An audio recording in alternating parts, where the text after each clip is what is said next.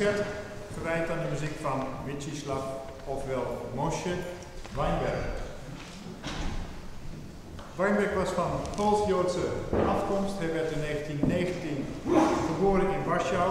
Zijn vader was uh, daar een bekend dirigent en componist in dienst van het uh, Jiddisch theater.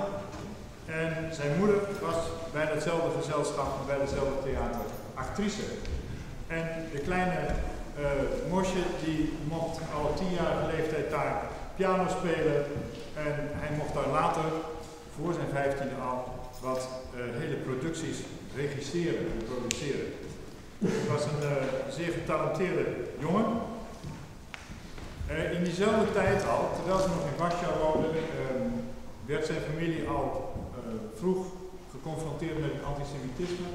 Want in Bessarabië, waar ook familie van hem woonde, werden al enkele mannen opgepakt en geëxecuteerd. Op 12-jarige leeftijd ging hij naar het conservatorium en hij studeerde af in 1939. En dat was natuurlijk een ja, onheilspellend jaar. Bij het uitbreken van de oorlog vluchtte hij naar de Sovjet-Unie. Hij kwam aan overigens bij de grens en uh, een van die grenswachters die uh, zei, nou ja, het is duidelijk dat je Joods bent, dus ja, Mietsjeslav, dat zegt niet zoveel. Ik zet er Mosje in. Toen zei hij, ja, Mosje, David of uh, wat dan ook, het kan me niks schelen als ik maar naar binnen kom.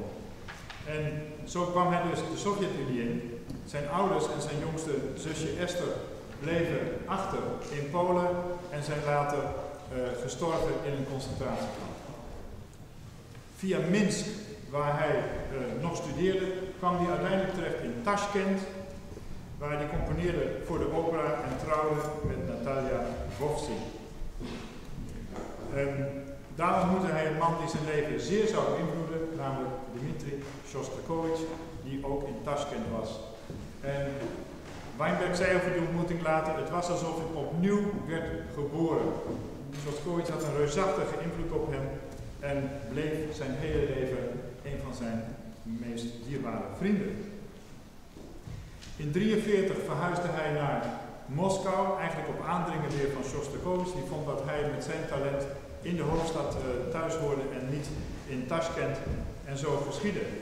En tijdens die oorlog was de censuur van de Sovjets was eigenlijk een beetje verslapt vanwege die enorme oorlogsinspanning die ze zich moesten vertroosten. Ze hadden wel wat anders aan hun hoofd dan uh, het beste van, uh, van muzici. Um, maar toen die oorlog eenmaal voorbij was, toen kwam de zware hand van de censuur en van de repressie op Weinberg terecht en werd het steeds moeilijker. Hij werd compleet genegeerd door het Sovjet-establishment uh, in de muziekwereld en hij kon alleen overleven door muziek te schrijven voor films, circus of theater. Vrijwel voortdurend werd hij uh, bekritiseerd voor, en nou citeer ik, het verderfelijke, walgelijke, onoprechte, onoprechte en leugenachtige idioom van zijn, let wel, pianostukjes voor kinderen. Dus, in 48, dat, dat, lijkt grappig, maar in 48 werd toen zijn uh, schoonvader op last van Stalin gearresteerd en werd vrijwel onmiddellijk geëxecuteerd. En daarna begon onmiddellijk ook de ja, vervolging van Weinberg zelf, die voortdurend op de hielen werd gezeten door de geheime politie. In 1953 werd hij toen gearresteerd vanwege uh, Joods bourgeois nationalisme. En zo kwam hij in de gevangenis uh, terecht. En daar had hij toch nog het lef om een van de ondervragers te vragen. Kijk, omdat ik niet één letter van het Jiddisch ken, maar wel 2000 Poolse boeken in mijn bezit heb, moet het dan niet zijn Pools bourgeois nationalisme? Shostakovich probeerde met uh, een, een, brief om hem uit de gevangenis te krijgen, een brief aan de autoriteiten. En hij schreef daar ook in, als jullie ook zijn vrouw arresteren, dan wil ik wel uh, de voogdij van hun kind op mij nemen. Dat is heel genereus. Weinberg had het grote geluk dat een maand daarna Shostakovich, of uh, Stalin overleed. En zodoende werd hij vrijgelaten en later ook volledig gerehabiliteerd. Want met zo'n arrestatie was het vrijwel zeker dat je daar nooit meer levend vandaan zou komen. Uh, bleef daarna in Moskou, hij bleef heel dicht bij Shostakovich wonen. Ze wisselden veel ideeën uit en uh, uiteindelijk werden zijn werken ook steeds meer uitgevoerd. En nou, ook door enkele van de beroemdste muzici uit die tijd, denk aan Emil Gilels, de pianist, uh, Kirill Kondrashin, de dirigent, uh, Mstislav Rostropovich, de cellist. Hij werd dus eigenlijk, eindelijk werd hij een beetje gewaardeerd voor zijn enorme oeuvre. En tegen het eind van zijn leven uh, werd hij toch steeds zieker, ook al door zijn gevangenisschap uh, niet uh, bevorderlijk was voor zijn gezondheid. En het meest bizarre is dat hij zich twee maanden voor zijn dood, zo gaat het verhaal, bekeerde tot orthodox-Russische kerk. Over zijn werken. Uiteindelijk werd hij beschouwd door een toonaangevend ja, muzikoloog in Rusland als de derde van de grote Sovjet-componisten, samen met Prokofjev en Shostakovich. Hij heeft enorm veel werken gecomponeerd, 22 symfonieën, 7 opera's, 17 strijkkwartetten, 8 vioolsonaten, 6 sonaten, 6 pianosonaten en uh, meer dan 40 uh, composities voor film en ook voor tekenfilms. En dat is nog wel grappig. Um, wij hebben thuis een paar Russische tekenfilms Onder andere de Russische versie van Winnie the Pooh. En daar zit ongelooflijk mooie en goede muziek onder. En toen ik mij een beetje verdiepte in Weinberg, toen keek ik eens wat voor animatiefilms hij allemaal had voorzien van muziek. En ja hoor, daar was Winnie the Pooh ook bij. ik heb het gecontroleerd en inderdaad op de aftiteling muziek dat waar Mosje Weinberg. Heel bijzonder. Um, die muziek is over het algemeen sterk ja, programmatisch. Hij verwijst heel vaak naar gebeurtenissen uit zijn jeugd. Um, en naar die vreselijke oorlog die zijn jeugd ook definitief eigenlijk op een hele brute wijze beëindigde. En die hele ja, duistere uh, kanten, zeg maar, die donkere kanten, die dienden echter ook als een soort achtergrond of tegenwicht voor zijn verlangen, zijn zoektocht naar vrijheid, naar rust, naar harmonie. Um, hoewel hij nooit studeerde formeel bij Shostakovich, heeft die natuurlijk een enorme invloed op hem uitgeoefend, uh, stilistisch en qua ja, vorm, qua techniek. Um, in zijn muziek zijn heel vaak verwijzingen te horen naar zijn grote mentor en vriend. Soms letterlijk een citaatje uit een werk van Shostakovich, wat dan ineens in een symfonie opduikt of iets dergelijks. En dat feit wordt heel vaak tegen hem gebruikt. Dat zeggen, ja, die man was toch helemaal niet origineel. Maar daarnaast uh, zijn er heel veel volksmuzikale invloeden, Joodse, Moldavische, Poolse, Armeense en Oezbeekse muziek. En het grappige is dat Weinberg door die uh, ja, interesse in die Joodse volksmuziek op zijn beurt Shostakovich weer beïnvloedde, die toen ook in toenemende mate geïnteresseerd werd in Joodse muziek en daar ook heel veel mee gedaan heeft. Denk je maar aan zijn liederen. Het programma van vanavond, daar gaan we eigenlijk langzaam terug in zijn in Weinbergs tijd. Uh, we beginnen met de hele inventieve tweede vioolsonate uit 1967. Uh, daarna het nummer 8 uit 1959. En tenslotte na de pauze het pianoquintet opus 18 uit 1944. En dat was natuurlijk voor hem een hele zware tijd. Het was een paar jaar daarvoor dat hij zijn hele familie verloor. En uh, die schrijnende en traumatische gebeurtenissen, die hoor je eigenlijk het meest nog terug in dit pianokwartet, dit quintet. De première vond plaats in 1945 in het laatste oorlogjaar in Moskou door Emil Gilels en de strijkkwartet van het Bolshoi Theater.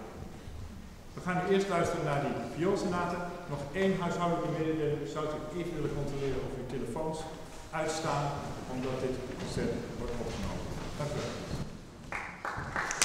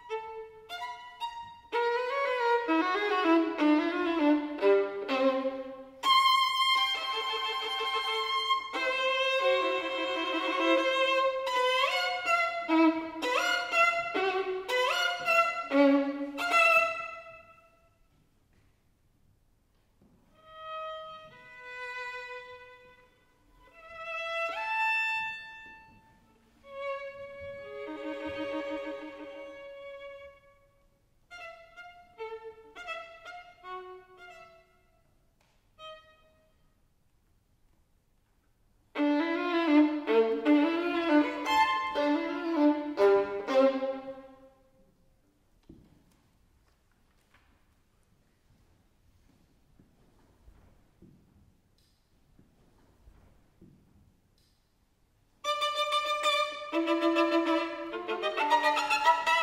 you.